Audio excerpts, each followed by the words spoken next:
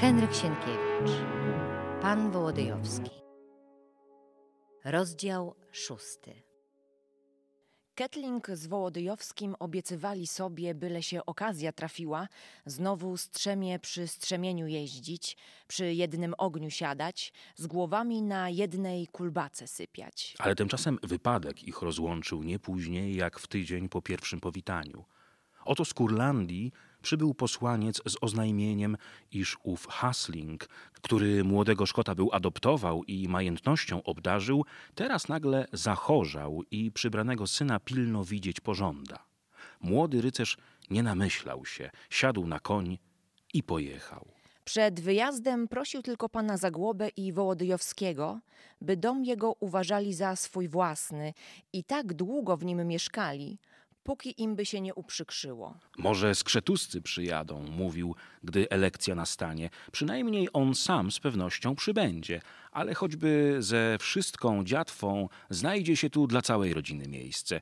Ja nikogo z krewnych nie mam, a choćbym i braci miał, nie byliby od was bliżsi.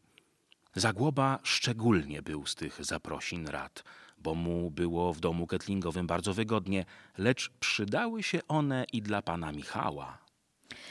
Skrzetuscy wprawdzie nie przyjechali, ale natomiast dała znać o swym przybyciu siostra Wołodyjowskiego, która była za panem Makowieckim stolnikiem latyczowskim. Wysłaniec jej przyjechał na dwór hetmański dopytywać, czy kto z dworzan czego o małym rycerzu nie wie. Oczywiście wskazano mu natychmiast dom ketlingowy.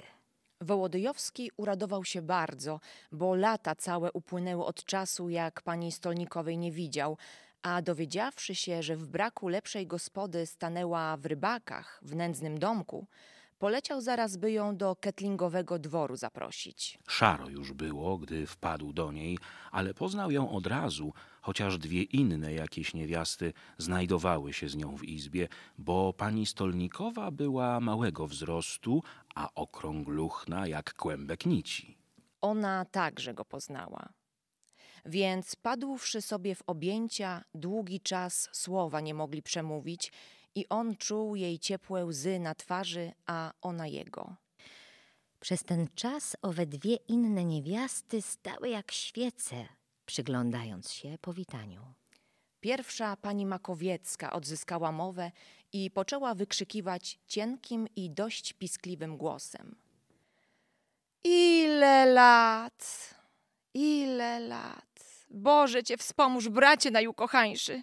Jak tylko przyszła wieść o twoim nieszczęściu, zaraz zerwałam się jechać. I mąż mnie nie wstrzymywał, bo od budziaku burza grozi. Mówi ono też o białogrodzkich Tatarach.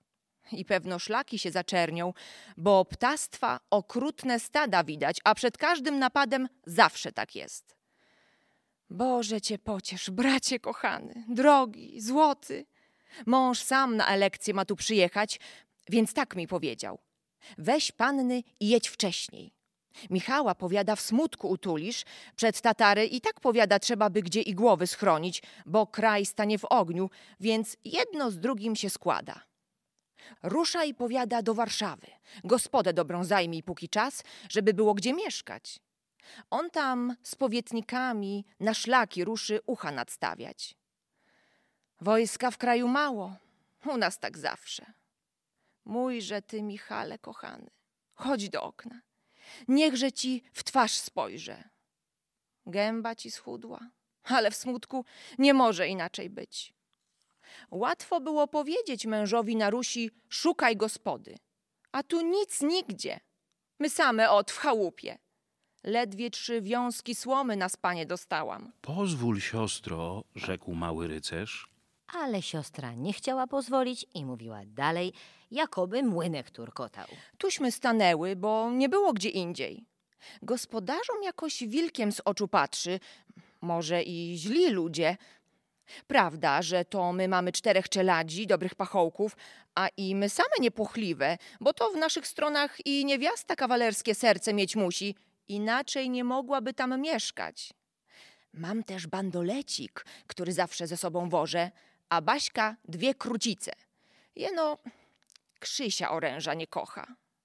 Ale że tu obce miasto, więc wolałybyśmy w jakiej pewniejszej gospodzie się zatrzymać. Pozwól, siostro, powtórzył pan Wołodyjowski. A gdzie ty mieszkasz, Michale? Musisz mi pomóc w wyszukaniu gospody, boś w Warszawie bywały. Gospodę mam gotową, przerwał pan Michał, i tak zacną, że senatorski dwór mógłby w niej stanąć. Mieszkam u mego przyjaciela, kapitana Ketlinga, i zaraz cię tam zabiorę. Ale pamiętaj, że to nas trzy i dwie sług i czterech czeladzi. Toż na Boga, ja cię dotąd z kompanią nie poznajomiłam. Tu zwróciła się do towarzyszek. Wać panny wiedzą, kto on, ale on nie wie, kto wać panny. Uczyńcie choć i po ciemku znajomość. Nawet nam w piecu dotąd nie zapalono. To jest panna Krystyna Drochojowska, a ówta panna Barbara Jeziorkowska. Mój mąż jest opiekunem ich i ich majątności, a one z nami mieszkają, bo sieroty. Samotnie zaś mieszkać tak młodym pannom nie wypada. Przez czas, gdy Stolnikowa mówiła, Wołodyjowski skłonił się żołnierskim obyczajem. Panny, chwyciwszy palcami za suknię, dygnęły obie, przytem panna Jeziorkowska rzuciła głową jak młody źrebak. Siadajmy i jedźmy, rzekł. Mieszka ze mną pan Zagłoba, którego prosiłem, aby wieczerze przygotować kazał. Ten sławny pan Zagłoba? spytała nagle panna Jeziorkowska. Baśka, cicho, rzekła pani Stolnikowa. Boję się tylko, czy kłopotu nie będzie. Już jak tam pan Zagłoba o wieczerzy myśli, odparł mały rycerz, to starczy. Choćby nas dwa razy tyle przyjechało. Każcie wać panny łuby wynosić. Wziąłem też i wózek pod rzeczy, a karabon ketlingowy tak obszerny, że we czworo wygodnie się pomieścić możemy. Ot, co mi przychodzi do głowy. Jeśli pachołkowie nie pijacy, niech tu do jutra z końmi i wielkimi rzeczami zostają, a my weźmiem jeno co najpotrzebniejsze. Nie mają potrzeby zostawać, rzecze pani Stolnikowa, bo wozy jeszcze nie wyładowane, tylko konie wyprzęgnąć i zaraz mogą jechać. Baśka, idź, przypilnuj. Panna Jeziorkowska skoczyła do sieni, a w kilka pacierzy później wróciła z oznajmieniem, że wszystko gotowe. To i czas, rzekł Wołodyjowski. Po chwili siedzieli w karabonie i jechali do Mokotowa. Pani Stolnikowa z panną Drochojowską zajęły tylne siedzenie, na przodku zaś usadowił się mały rycerz koło panny Jeziorkowskiej. Ciemno już było, więc twarzom ich nie mógł się przyjrzeć. Wać panny znają Warszawę? spytał, pochyliwszy się do panny Drochojowskiej i podnosząc głos, aby turkot karabonu zagłuszyć. Nie, odrzekła niskim, ale dźwięcznym i miłym głosem. Parafianki z nas prawdziwe i dotąd nie znamy ni sławnych miast, ni sławnych ludzi. To rzekłszy, skłoniła nieco głowę, jakby dając znać, że do tych ostatnich pana Wołodyjowskiego zalicza. On zaś przyjął wdzięcznie odpowiedź. Polityczna jakaś dziewczyna, pomyślał i zaraz zaczął łamać głowę, jakim by w zamian ruszyć komplementem.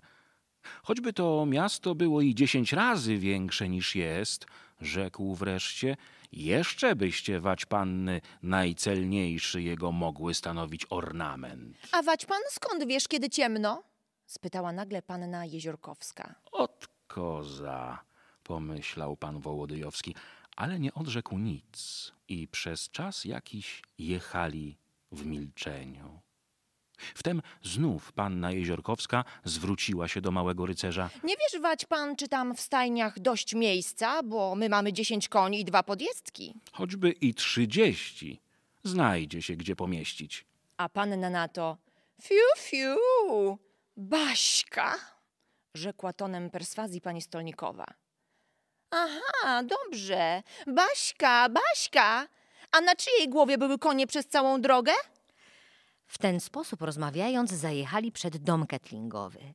Wszystkie okna jasno już były oświecone na przyjęcie pani Stolnikowej. Wybiegła służba z panem Zagłobą na czele, który przyskoczywszy do wasągu i ujrzawszy trzy niewiasty, spytał zaraz. W którejże z pań mam zaszczyt powitać osobliwą moją dobrodziejkę, a zarazem siostrę mego najlepszego przyjaciela Michała? Jam jest, odrzekła pani Stolnikowa. Wówczas Zagłoba chwycił ją za rękę i począł pośpiesznie całować, powtarzając czołem bije, czołem. Następnie pomógł jej zsiąść z karabonu i prowadził z wielką atencją oraz z szurganiem nogami do sieni. Niech mi za progiem wolno będzie jeszcze raz powitać, mówił po drodze. A tymczasem pan Michał pomagał zsiadać pannom. Że zaś karabon był wysoki, a stopnia po ciemku trudno było nogą zmacać, więc chwycił w pół pannę Drochojowską i uniósłszy ją w powietrzu, postawił przed sobą na ziemi. Ona zaś, nie opierając się, zaciężyła przez oka mgnienie piersią na jego piersi i rzekła – dziękuję wać panu. Pan Wołodyjowski zwrócił się z kolei do panny Jeziorkowskiej, ale ona zeskoczyła już na drugą stronę wasągu, więc podał ramię Drochojowskiej. W izbie nastąpiła znajomość z panem Zagłobą, który na widok dwóch panien wpadł w doskonały humor i zaraz zaprosił do wieczerzy. Już też i dymiło się z półmisków na stole, a jak przewidywał pan Michał, wszystkiego była taka obfitość, że i na dwa razy tyle osób by starczyło. Więc siedli. Pani Stolnikowa zajęła naczelne miejsce, obok niej Zagłoba po prawicy, a za nim panna Jeziorkowska. Wołodyjowski siadł z lewej strony, obok Drochojowskiej. I tu dopiero mały rycerz mógł się dobrze pannom przypatrzyć. Obie były ładne, ale każda w swoim rodzaju. Drochojowska miała czarne jak krucze skrzydła włosy, takież brwi, duże błękitne oczy, płeć smagłą, a bladą i tak delikatną, że widać jej było przez skórę niebieskie żyłki na skroniach. Ledwie dostrzegalny ciemny puszek pokrywał jej wierzchnią wargę, uwydatniając usta słodkie, a ponętne, jakby trochę do pocałunku złożone. Była w żałobie, bo niedawno ojca straciła i ta barwa stroju przy delikatności cery i czarnych włosach nadawała jej pewien pozór smutku i surowości. Na pierwszy rzut oka wydawała się starszą od swej towarzyszki i dopiero przyjrzawszy się lepiej, spostrzegł pan Michał, że krew pierwszej młodości płynęła pod tą przezroczystą skórą. I im więcej patrzył, tym więcej podziwiał i pańskość postawy, i szyję łabędzią, i te kształty smukłe, a pełne dziewiczych uroków. To jest wielka pani, myślał sobie, która duszę musi mieć wspaniałą, za to ta druga to istny pacholik. Jakoż porównanie było trafne. Jeziorkowska była o wiele od Drochojowskiej mniejsza i w ogóle drobna, choć nie chuda. Różowa jak pączek różany, jasnowłosa. Ale włosy miała widocznie po chorobie obcięte i w złotą siatkę schowane. Te jednak na niespokojnej głowie siedząc nie chciały także zachować się spokojnie, jeno wyglądały kończykami przez wszystkie oka siatki, a nad czołem tworzyły bezładną płową czuprynę, która spadała aż na brwi na kształt kozackiego osełetca, co przy bystrych, niespokojnych oczach i zawadiackiej minie czyniło tę różową twarzyczkę podobną do twarzy Żaka, który jeno patrzy, jakby tu zbroić co bezkarnie. Jednak tak była ładna i świeża, że trudno było oczu od niej oderwać. Nosek miała cienki, nieco zadarty, o ruchomych, ciągle rozdymających się nozdrzach, dołki na twarzy i dołek w brodzie, znak wesołego usposobienia. Ale teraz siedziała poważnie i jadła smacznie, co chwila tylko strzelając oczyma. To na pana Zagłobę, to na pana Wołodyjowskiego i spoglądając na nich z dziecinną prawie ciekawością, jak na jakieś osobliwości. Pan Wołodyjowski milczał, bo chociaż czuł, że mu wypada zająć rozmową pannę Drochojowską, nie wiedział od czego zacząć. W ogóle nie był zręczny do niewiast mały rycerz, a teraz miał przy tym duszę tym smutniejszą, że mu te dziewczyny żywo na pamięć kochaną zmarłą przywiodły. Natomiast pan Zagłoba bawił panią Stolnikową, prawiąc jej o czynach pana Michałowych i własnych. W środku wieczerzy wpadł na opowiadanie, jak niegdyś z kniaziówną Kurcewiczówną i Rzędzianem samoczwart przed całym czambułem umykali i jak wreszcie dla ocalenia kniaziówny i zatrzymania pogoni rzucili się we dwóch na czambuł. Panna Jeziorkowska aż jeść przestała i wsparłszy brodę na rękach, słuchała pilnie, potrząsając co chwila czupryną, mrugając oczyma, trzaskając w palce w najciekawszych miejscach i powtarzając Aha, aha, no i co? No i co? Aż gdy przyszło do tego miejsca, jak dragoni kuszla, nadbiegłszy niespodzianie w pomoc, wsiedli na kark Tatarom i jechali na nich, siekąc przez pół mili, nie mogła dłużej wytrzymać panna Jeziorkowska. Więc klasnąwszy z całej siły w ręce, zakrzyknęła. Chciałabym tam być, dali pan! Baśka! Zawołała tłuściuchna pani Makowiecka wybitnym rusińskim akcentem. Toż tu międzypolityczny naród przyjechałaś. Odzwyczaj, że się od swoich dali pan. Tego tylko, Boże, wielki braknie, żebyś zakrzyknęła, niech mnie kule biją. Panienka roześmiała się świeżym i dźwięcznym jak srebro uśmiechem i nagle uderzyła się rękami po kolanach. No, to niech mnie kule biją, ciotula. O Boże, uszy więdną. Przeproś całe towarzystwo, wołała pani Stolnikowa. Wówczas Baśka, chcąc zacząć od pani Stolnikowej przeprosiny, zerwała się z miejsca, ale zarazem zrzuciła pod stół nóż i łyżkę, więc następnie sama nurknęła za nimi. Okrągluchna pani Stolnikowa nie mogła dłużej śmiechu powstrzymać, a miała dziwny śmiech, bo naprzód zaczęła się trząść i podrygiwać, a potem piszczeć cienko. Rozweselili się wszyscy, Zagłoba był zachwycony. Patrzcie państwo, co ja mam z tą dziewczyną, powtarzała trzęsąc się Stolnikowa. Czyste delicje, jak mnie Bóg miły, mówił Zagłoba. Tymczasem panna Basia wylazła spod stołu, łyżkę i nóż znalazła, ale zgubiła siatkę z głowy. Czupryna całkiem jej spadła na oczy. Wyprostowawszy się, poruszyła nozdrzami i rzekła. Aha, śmiejecie się wać państwo z mojej konfuzji? Dobrze. Nikt się nie śmieje, rzekł tonem przekonania Zagłoba. Nikt się nie śmieje, nikt się nie śmieje. Cieszymy się tylko, że nam Pan Bóg radość w osobie Waćpanny zesłał. Po wieczerzy przeszli do bawialnej izby. Tam panna Drochojowska, ujrzawszy wiszącą na ścianie lutnię, zdjęła ją i poczęła w struny brzdąkać. Wołodyjowski prosił jej, żeby zaśpiewała co do wtóru, ona zaś odrzekła z prostotą i dobrocią. Gotowam, jeśli troskę zwać panowej duszy wygnać zdołam. Dziękuję, odpowiedział mały rycerz, podnosząc na nią z wdzięcznością oczy. Po chwili śpiew się rozległ. Wierzcie, rycerze, na nic pancerze, na nic się tarcze zdały. Przez stal, żelazo, w serce się wrażą kupida ostre strzały. Już nie wiem, jak wać pani dziękować, mówił Zagłoba, siedząc opodal z panią Stolnikową i całując ją po rękach, żeś sama przyjechała i tak foremne dziewki ze sobą przywiozła, że gracje same mogłyby przy nich w piecu palić. Szczególnie mi ów hajduczek do serca przypadł, bo to ci taka bestyjka, tak smutki rozgoni, że i łasica lepiej myszy nie rozpędzi.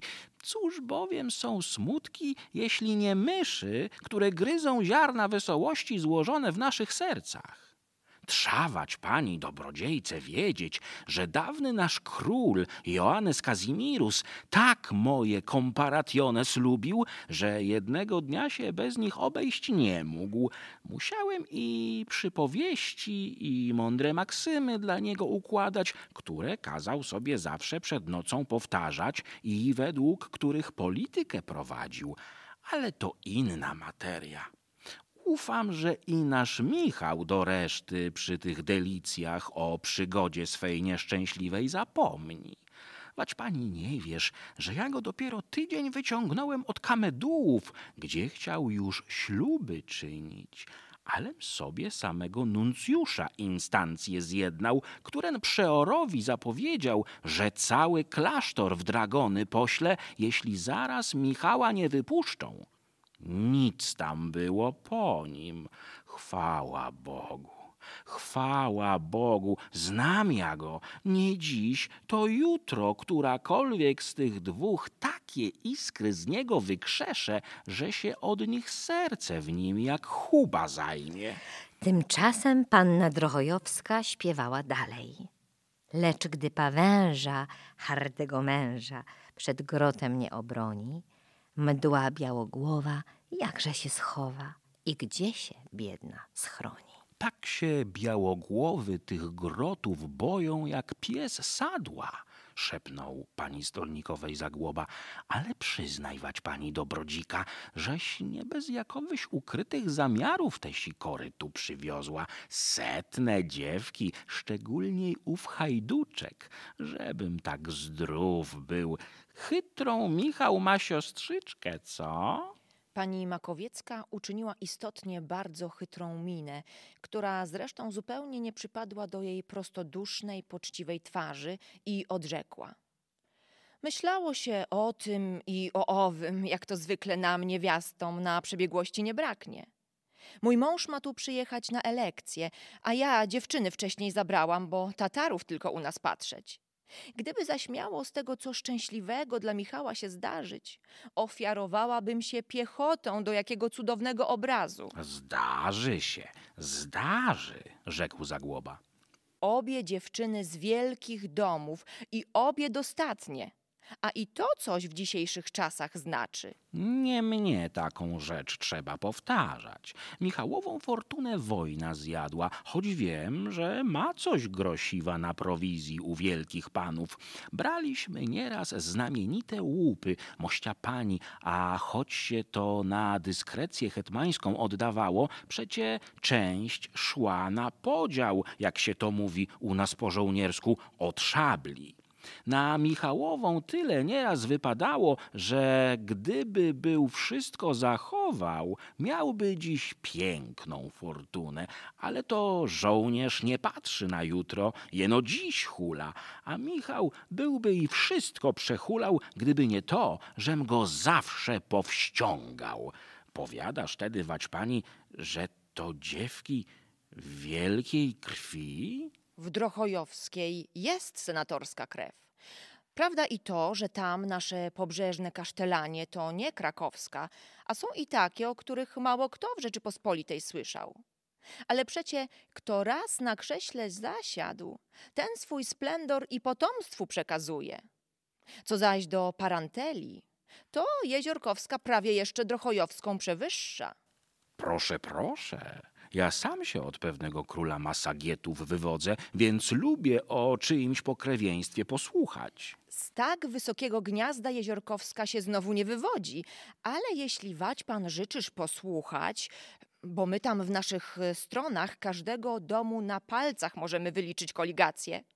Owóż ona jest krewna i Potockich, i Jazłowieckich, i Łaszczów. Widzi wać pan, to było tak. Tu pani Stolnikowa rozgarnęła fałdy sukni i usadowiła się wygodniej, aby żadnej w ulubionym opowiadaniu nie znaleźć przeszkody. Rozstawiła palce jednej dłoni, a wskazujący drugiej przygotowała do liczenia dziadków i babek, po czym zaczęła. Córka pana Jakuba Potockiego, Elżbieta, z drugiej jego żony Jazłowieckiej, wyszła za pana Smiotanko, chorążego podolskiego. Zakonotowałem, rzekł Zagłoba. Z tego małżeństwa urodził się pan Michał Smiotanko, takoż chorąży podolski. Hmm, piękna godność. Ten był żonaty pierwszy raz z Drochostaj, y, nie, nie, nie z Rożyńską, Mm, nie, z Woroniczow, z Worowniczówną, bodajże cię, zapomniałam. Wieczny jej pokój, jakkolwiek się nazywała, rzekł z powagą Zagłoba. A drugi raz ożenił się z Łaszczówną. Tum go czekał. Jakiż był tego małżeństwa efektus? Synowie im pomarli. Każda radość krucha w tym świecie. A z czterech córek najmłodsza Anna poszła za Jeziorkowskiego, Herburawicz, komisarza do rozgraniczenia Podola, którym był potem, jeśli się nie mylę, i miecznikiem podolskim. Był, pamiętam, odrzekł z całą pewnością Zagłoba. Z tego małżeństwa, widzisz, bać pan, rodzi się Basia. Widzę i to przy tym, że się w tej chwili z ketlingowego szturmaka przymierza. Jakoż Drochojowska i mały rycerz zajęci byli rozmową, a panna Basia mierzyła sobie dla rozrywki ze szturmaka ku oknu. Pani Makowiecka poczęła się na ten widok trząść i piszczeć. Wać pan sobie nie wyimaginujesz, co ja mam z tą dziewczyną. Czysty hajdamaka. No, żeby wszyscy hajdamakowie byli tacy, zaraz bym do nich przystał. Jej nic w głowie jeno oręż, a konie, a wojna. Raz wyrwała się z domu na polowanie na kaczki z guldynką. Znalazło to gdzieś między trzcinami, aż tu patrzy, trzciny się rozsuwają i co widzi? Głowę tatarzyna, który trzcinami pod wieś się przekradał. Inna byłaby się przestraszyła, a ta bieda, kiedy nie gruchnie z guldynki, tatarzyn chlup w wodę. Na miejscu, imaginuj sobie, wać pan go położyła i czym? Kaczym śrutem. Tu pani Makowiecka poczęła się znów trząść i chychotać nad przygodą Tatarzyna, po czym dodała. I co prawda, ocaliła nas wszystkich, bo cały czambulik szedł. Ale że wróciwszy narobiła alarmu, więc mieliśmy czas strzelać ją w lasy uciekać. U nas tak ciągle. Twarz Zagłoby oblała się takim zachwytem, że aż oko na chwilę przymrużył, za czym zerwał się, poskoczył do dziewczyny i nim się opatrzyła, pocałował ją w czoło. To od starego żołnierza za tego Tatarzyna w trzcinach, rzekł. Panienka potrząsnęła zamaszyście swoją płową czupryną. Co? Zadałam mu bobu! Zawołała swym świeżym, dziecinnym głosikiem, który tak dziwnie brzmiał wobec sensu jej słów. Mójże ty, hajduczku najmilszy, rzekł rozrzewniony Zagłoba. Ale co tam jeden Tatar? Wać panowieście tysiącami ich nasiekli, i Szwedów, i Niemców, i Węgrzynów rakoczego. Co ja tam przy Waćpanach znaczę, przy takich rycerzach, jakich drugich w całej Rzeczypospolitej nie masz? Wiem doskonale, aha. Będziem cię uczyć szabelką robić, kiedy masz taki animusz. Ja już trochę przyciężki, ale Michał to także mistrz. Panienka na taką propozycję aż podskoczyła w górę. Następnie pocałowała w ramię pana za głowę i dygnęła małemu rycerzowi, mówiąc: Dziękuję za obietnicę. Już trochę umiem. Ale Wołodyjowski cały był zajęty rozmową z Krzysią Drochojowską, więc odpowiedział z dystrakcją. Co tylko wać panna rozkażesz? Zagłoba z rozpromienionym obliczem przysiadł się znów do pani stolnikowej Latyczkowej. Moja mościwa dobrodziko, rzekł, wiem ja to dobrze, jakie bakalie tureckie są wyborne, bom długie lata w Stambule przesiedział, ale i to wiem także, że właśnie jest siła na nie łakomych. Jakże się to stało, że się na tę dziewczynę nikt dotąd nie złakomił? Dla Boga, nie brakło takich, którzy się obydwom zalecali. A Baśkę to nazywamy, śmiejąc się, wdową po trzech mężach, bo naraz trzech godnych kawalerów puściło się do niej w zaloty. Pan Świrski, pan Kondracki i pan Ćwilichowski. Wszystko szlachta z naszych stron i posesjonaci, których koligacje mogę także dokładnie wać panu wymienić. To rzekłszy, pani Stolnikowa rozstawiła już znowu palce lewej ręki i przyładowała wskazujący prawej, lecz Zagłoba spytał i co prędzej. I cóż się z nimi stało? Wszyscy trzej na wojnie dali gardła. Dlatego też to i Baśkę zwiemy wdową. A ona jakże to przeniosła? Widzi wać pan, to u nas codzienna rzecz i rzadko kto późnego wieku doszedłszy własną śmiercią schodzi.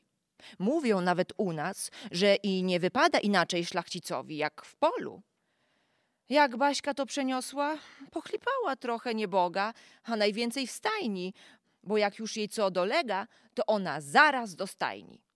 Poszłam kiedyś za nią i pytam, po którym płaczesz? A ona na to, po wszystkich trzech. Z tego responsu zaraz zmiarkowałam, że żadnego sobie poszczególnie nie upodobała. I tak myślę, że mając głowę czym innym zaprzątniętą, wcale ona jeszcze woli Bożej nie czuje. Krzysia więcej, ale Baśka chyba jeszcze nie. Poczuję, rzekł Zagłoba. Mościa dobrodziejko, my to najlepiej rozumiemy. Poczuję, poczuję. Takie nasze przeznaczenie, odpowiedziała pani Stolnikowa. Otóż to właśnie. Z ust mi tować pani wyjęłaś. Dalszą rozmowę przerwało zbliżenie się młodszej kompanii. Mały rycerz bardzo był już ośmielony do panny Krzysi, a ona widocznie przez dobroć serca zajmowała się nim i jego smutkiem tak, jak lekarz zajmuje się chorym. I może właśnie dlatego więcej okazywała mu życzliwości, niż pozwalała na to ich krótka znajomość. Ale że pan Michał był bratem stolnikowej, a panienka krewną jej męża, więc nikogo to nie dziwiło. Baśka natomiast została jakoby na uboczu i tylko pan Zagłoba zwracał na nią ustawiczną uwagę. Lecz zresztą było jej to widocznie wszystko jedno, czy się kto nią zajmował, czy nie. Z początku spoglądała z podziwieniem na obydwóch rycerzy, ale z równym podziwieniem przypatrywała się i cudnej ketlingowej broni porozwieszanej na ścianach. Potem zaczęła trochę ziewać, potem oczy kleiły się coraz bardziej, a wreszcie rzekła: Jak się kropnę spać, tak się pojutrze chyba obudzę. Po tych słowach rozeszli się zaraz wszyscy, bo niewiasty były bardzo zdrożone i czekały tylko na łóżek posłanie. Gdy pan Zagłoba znalazł się wreszcie sam na sam z Wołodyjowskim, naprzód począł mrugać znacząco, następnie zaś obsypał małego rycerza gradem lekkich kułaków. Michał. A co, Michał, ha? Jak rzepy, co? Mnichem zostaniesz, co? A ta borówka drochojowska, smaczna, a ów hajduczek różowiuchny, uch, cóż ty na to, Michale? Cóż, nic, odpowiedział mały rycerz. Pryncypialnie mi się ów hajduczek udał. To powiadam ci, że kiedym przy niej podczas wieczerzy siedział, tak mnie od niej piekło jak od piecyka. Koza to jeszcze, tamta gdzie stateczniejsza. Drochojowska, węgierska śliwka, istna węgierska śliwka, ale tamten orzeszek. Dali Bóg, żebym miał zęby, y, chciałem rzec, y, żebym miał taką córkę. Tobie jednemu bym ją oddał. Migdał, powiadam, migdał. Wołodyjowski posmutniał nagle, bo mu się przypomniały przezwiska, jakie pan Zagłoba Anusi Bożobohatej dawał. Jako żywa stanęła mu nagle w myśli i pamięci jej postać. Jej twarz malutka, jej ciemne warkocze, jej wesołość i szczebiotanie i sposób patrzenia. Te obie były młodsze, ale przecie tamta była droższa stokroć od wszystkich młodszych. Mały rycerz ukrył twarz w dłoniach i żal porwał go tym większy, że niespodziewany. Zagłoba zdziwił się. Czas jakiś milczał i patrzył niespokojnie. Następnie rzekł. Michale, co ci to? Przemów dla Boga. Wołodyjowski przemówił. Tyle ich żyje, tyle ich chodzi po świecie, jeno mego jagniątka już nie ma. Jeno jej jednej nigdy już nie obaczę. Za czym ból mu głos zdławił, więc czoło wsparł o poręczy ławy i zaczął szeptać przez zaciśnięte wargi Boże, Boże, Boże.